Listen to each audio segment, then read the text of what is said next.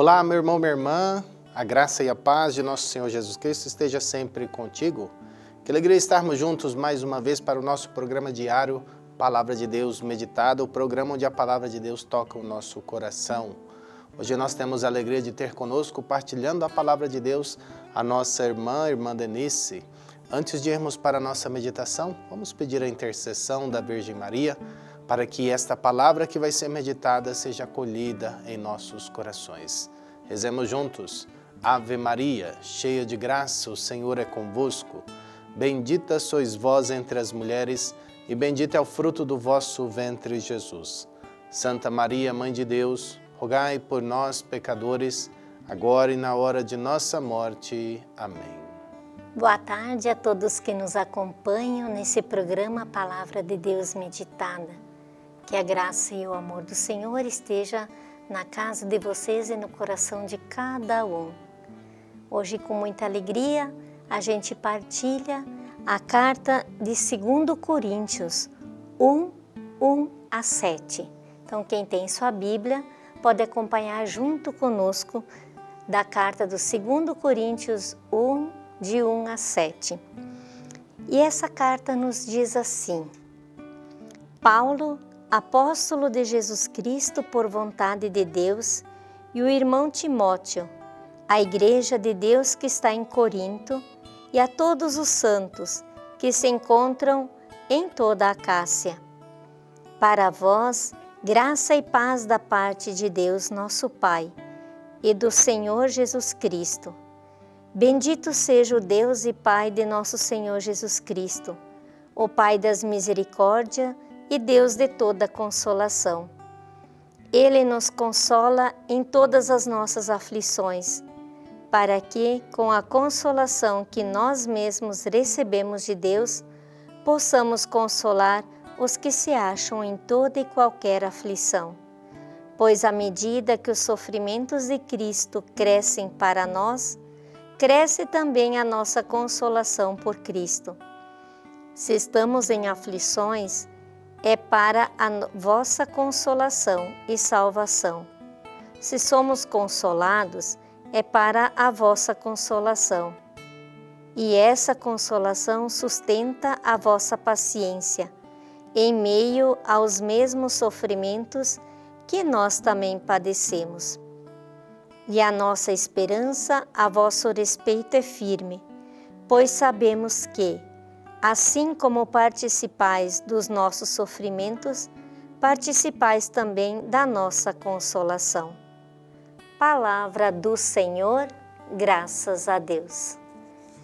Esta linda carta que São Paulo escreve, ela vai demonstrando toda a experiência que Paulo vai fazendo da bondade e do amor de Deus. Essa experiência que Paulo mesmo faz de Deus, ele vai transformando e transmitindo também a todas as pessoas que estão ao redor dele. É o calor da caridade de Deus derramado sobre a pessoa que confia nele, é que vai também se difundindo a todos aqueles que estão ao redor. É uma experiência de amor que Paulo vive com o Pai, com Jesus Cristo. Essa experiência de amor que ele tem vai se transmitindo também na própria vida de Paulo. E é muito bonito de nós vermos como Paulo vai alimentando as comunidades por onde ele passou. E ele faz isso de uma forma muito pessoal, muito bonita, muito concreta. Ele vai dando nomes, né? Paulo, apóstolo de Jesus. Mas eu sou apóstolo por quê? Pela vontade de Deus, né? Ao irmão Timóteo, e assim vai indo. Essa proximidade, essa familiaridade de Paulo com todas as comunidades nas quais ele passou. As cartas vão alimentando esse amor e essa consolação que cada um deve experimentar em Cristo. Hoje ela é dirigida a nós.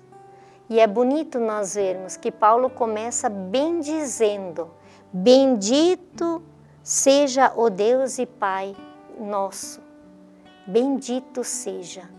Ele vai bendizendo o Pai e vai bendizendo as pessoas. Talvez essa seja uma atitude que cada um de nós cristãos podemos também ter. Mesmo se meu, meu irmão era, mesmo se meu irmão faz algo que não é certo, mesmo se nós temos dificuldades, em vez de maldizer o nosso irmão, precisamos bem dizer, ajudar a quebrar o círculo de tanta e tanta destruição, de tanto e tanto ódio, de tanta e tanta maldicência que às vezes acontece. Por um erro do meu irmão, em vez de ajudá-lo, eu calco ainda mais, eu peso ainda mais, eu aumento ainda mais. E o círculo vai se cada vez mais vai se alimentando, em vez da gente bem dizer e ajudar o nosso irmão a crescer. Essas coisas a gente diz para mim, para qualquer um. É, uma, é um exercício contínuo que nós precisamos fazer. E Paulo faz esse exercício. Ele começa sempre bem dizendo, ele começa sempre exaltando, ele vai procurar mostrar que em Cristo nós temos também a consolação. Uma vez consolados por Cristo, podemos consolar. Uma vez amados por Cristo, podemos amar. E que bonito, meu irmão, minha irmã, quando ele vai dizendo que os sofrimentos crescem em nós, é verdade, mas ao mesmo tempo também Cristo vai dando a, a consolação. Se confiarmos nele, se colocarmos a nossa vida sob a ação do Espírito Santo, se o nosso ser estiver em Cristo, aumenta também a nossa consolação. Ele consola o nosso coração. Ele vai ser aquele que vai nos dar esperança para a caminhada. E nós também podemos fazer isso.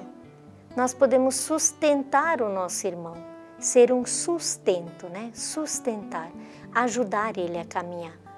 Cada um de nós pode fazer essa experiência na medida em que também nós deixamos Cristo habitar em nós.